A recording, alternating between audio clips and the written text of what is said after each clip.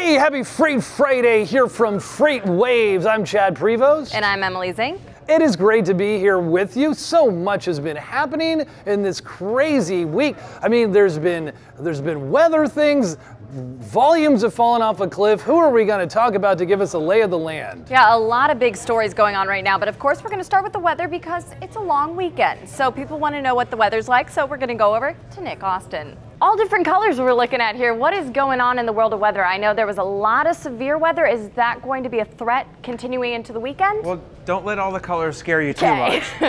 there will be some severe storms, yes, across some of the same parts of the plains up in the Midwest. Uh, but the good news is that the, the risk for severe weather is not as great as it has been through most of the week so far. Today's probably going to be the quietest day that we've seen this week as far as tornadoes, severe storms popping up, uh, things like that. So, but there is still that chance that we could see some severe weather, you know, some high winds, large hail, maybe some isolated tornadoes. Uh, anywhere from West Texas all the way up to even near the Chicago metro area. So it's along a large swath. Yes. Yeah, it but, covers a long, yeah. But that doesn't mean that everywhere okay. in that region is going to see storms. But that's where the risk area is. The, the severe storms will be kind of scattered about, you know. But so just be weather aware. Just There's be weather a possibility aware. if you're in that area. Not much snow either. Um, there were some you know, really heavy areas of snow yeah, earlier in the, the, week. In the Rockies early in the week. So overall, things are definitely starting to kind of quiet down as far as the weather. There should be fewer weather, weather-related disruptions in freight movement as we head into the holiday weekend, which is a good thing, uh, and easier also for a lot of the drivers to get home. So there won't be a lot of weather problems. We want to do just kind of focus in on one critical event area. This is in the St. Louis area. Now we, we you saw on the map those kind of donuts that were yeah, like green circling, and orange. Yeah. Um, and those represent the different assets that might be uh, under some kind of severe weather risk, whether it's flooding from high winds, whatever. Um, this is great, how it tells you exactly where you're looking and what part, yeah. And we're not really concerned, the ones that show up in green, those aren't, those aren't wary areas. But if they show up in orange or even red, uh, the, that, that's not good. The orange is uh, a medium risk, red is high risk. We don't have any high risk areas right now, but these are showing just what assets are kind of under the risk for certain types of severe weather. In this case, flooding at the port of St. Louis. Um, also, some, um, some of the rails that uh, go through St. Louis, BNSF and also Union Pacific, are either uh, out of service or they're being watched very closely for the potential of flood damage. Some of them have already been damaged by floods and, and are still closed. Uh, so that's one thing that critical events shows really well, and it also shows you how long the threat kind of lasts. It's a really good sonar level. feature. Yeah, this one yeah. has 12 hours remaining, remaining and right? yeah. Um, there are there have been some problems up near the port of Chicago too, with at least a chance, a risk for some uh, possible uh, flood damage up there. So they're keeping an eye on things up there as well. So just another great thing that you can see on the critical events feature. Well, in flooding, you have to take so seriously. We were watching video yesterday. The barge, where was that out of Tulsa area? Oh, that was in, that was in Oklahoma. Oklahoma, I don't remember yeah. the exact area, but it was along the Arkansas yeah. River. And it's crazy though. Yeah, these two water. barges got loose. It looked like they were empty, but these two barges got loose and crashed into a dam. Yeah. So a, a lot of a lot of different bad things can happen when you have uh, especially flash flooding from severe storms, especially when it happens over the same areas again and again over several days. Uh, it's just, it, it really causes lots of problems uh, with transportation and, and just disrupting people's lives. It's, uh, and they're gonna, luckily that's, that's gonna improve uh, today because the severe weather threat is at least a lot lower. So that's good. Definitely what we folks. like to hear. And something very right. interesting too, severe weather last week, we're going to go out west a little bit more, yes. talking about California. The cherry crop, unfortunately, yes. there was severe weather that really hurt that cherry crop.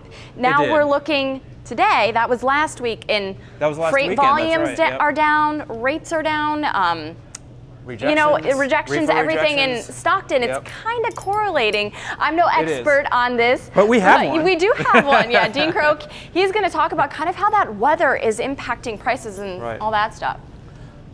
So uh, Nick, before I bring you on weather, I just want to set the stage around what we're seeing out in the west coast because you wrote a great article this week about the damage to the cherry crop uh, from the rainstorms, which doesn't normally happen this time of the year. Right. right. about now, in the lead up to Memorial Day, this is peak time for growers in the San Joaquin Valley, just outside of San Francisco.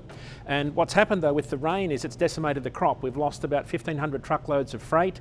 Um, the reason it's such a big deal is they've lost about 30% of their crop. It looks like as a result of the two storms that that we're going to talk about in a second. Um, California produces about 20% of our total crop. It's literally only a six week season. So the California season is very short because of the weather patterns very consistent normally. Uh, we, one of the biggest states that produces uh, cherries is Washington State. So the Pacific Northwest has actually got a different climate. They've got some microclimate issues I want to ask you about. Their season's about twice as long as California. But because California is lower, it comes online first and it's one of the the sweet cherries are, are sort of one of the most um, sought after cherries globally at this time of the year. So uh, if you're looking for cherries right now and you see them because they don't ripen after they're picked, buy what you see because uh, supply is diminishing and prices are going to increase. But what you can see here is that on our sonar chart for cherries, prices increase about 40% every summer. Uh, but what's going to happen, of course, now, well, we're not sure because prices may go even higher. Um, this morning I walked past the, the greengrocer and prices were up in the $9 a pound range. So prices are already starting to move up. Uh, what I wanted to show you a little bit about um, is, Nick, is, is the weather pattern that you wrote about on Wednesday's article on Freight Waves Now, right. where you talked about the, the, the, impact on volume, tender rejections, and the rain that was uh, the rain that came through in two storms. I want you to go through the impact because um, there's a little bit, there's something that's happening that's not normal, and I want you to talk right. about that.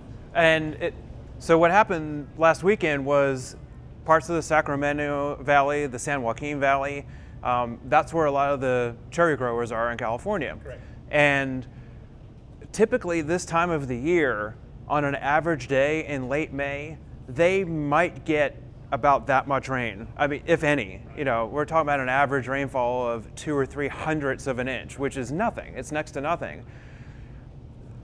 Generally speaking, if you get an inch of rain in one day from a storm, it doesn't sound like a lot to most people.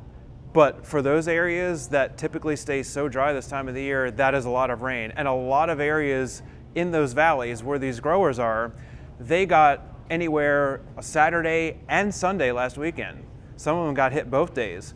Got anywhere from three quarters of an inch to an inch of rain when they normally have nothing. But there was also some strong wind and there was also large hail. These were strong to severe thunderstorms too. So when you put all those factors, all those things together, the, the cherries either got torn apart or they just got drenched so much before being picked that they're now just useless. Right. We can and see on the chart here that's the effect of the two rainstorms. Right. The orange line is the forecast rain for those two events. And then immediately after that, you can see the effect where uh, refrigerated tender rejections dropped about 20% uh, or 20 basis points over that time so that uh, you know with fewer loads carriers had fewer choices so right. they rejected fewer loads. So that was one of the interesting data points.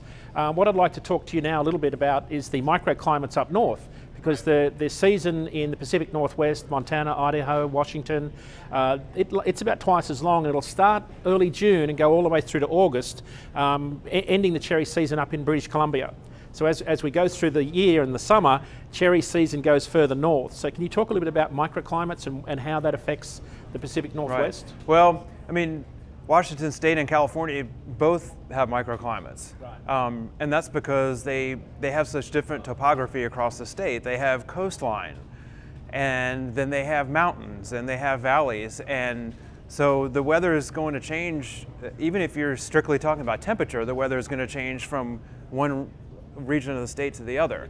Uh, California is a great example of that too. Um, uh, right, right at the coast on the beaches of Los Angeles, on a sunny day, it could be 70 degrees at, at you know, say at 10 o'clock in the morning. But if you go into downtown Los Angeles, which isn't that far away, uh, it could be 10 or 15 degrees warmer. And then if you go into the valley that we were mentioning earlier, the Sacramento Valley, San Joaquin, it could be 100 degrees and then you go in the mountains and it can only be 60. So when you get these microclimates, um, that's important for farmers because um, depending on which microclimate in that state you are, that's going to affect soil temperature. It affects how much moisture you get on an average day during a growing season. So they have to think about all that. Thanks, Nick. Um, what I wanted to do just in our wrap up is talk a little bit about the impact on freight volumes. Um, as a result of the two storms, a couple of things happened. Um, if we have a look at our chart, what we'll see is that the outbound tender reject in Stockton market around the time of the two storms here dropped off about 20%. Um, at the same time, our green line, which is the refrigerated uh, tender reject index, which is for specialised carriers hauling the cherries, it dropped off also. So uh, this means that as the number of loads disappeared from the market, we lost about 1,500 loads from the market this week. That meant that carriers had fewer choices, which meant they were rejecting fewer loads, which meant capacity increased in the refrigerated market and dropped all the way down here. So we're heading into a weekend where normally carriers are looking for eastbound freight out of the west coast to get home for weekends. Um, it looks like we've lost out of the typical 5,000 loads that we get over the course of the six week period, we've lost about 1,500 loads, which is a really big deal. And if we have a look at the next slide, we'll see that on the impact on rates, um, uh, full load, full truckload rates out of the west coast have dropped about two to three percent over the course um, of the last few weeks. Normally, um, if you look back, these are full load prices. This is 75.50 for a load from San Francisco to Boston. Um, Chicago and JFK are listed here. All had the same sorts of decline in freight rates. Um, they were about 15% higher this time last year. So freight rates are down. Uh, it's going to affect the operating profitability of, uh, of operators. There's more capacity on the west coast. So it's actually a pretty big deal. These two rainstorms are having a significant impact on both growers whose crops have been devastated and on carriers who would normally be looking for um, good freight rates out of the west coast this time of the year. Well, thanks for the commentary from our market experts. Great stuff. Long weekend ahead. You know, just like try to have some fun out there. Be safe. Emily, what are you doing? I love how you say try to have some fun. I think everyone's going to have fun when they have time off. I'm going to Tampa actually, seeing my family. Okay. What are you doing? I'm going to try to have fun. I'm going to disc golf. I'm going to mountain bike because everybody's Your idea of fun is different than I think everyone else's idea of fun, but we want to know what you guys are doing this weekend, and we also want you to follow us on our, all of our social media channels. Also, that story about cherries, quite interesting, kind of how the weather affects the freight market and all that. That's on freightwaves.com. Yes, check that out for further, deeper analysis and commentary. Yeah, join our YouTube, subscribe to our YouTube channel. We want to share the love. We like having you tune in each and every day at 4 o'clock Eastern Time. So thanks for tuning in. And in the meantime, don't worry, be happy.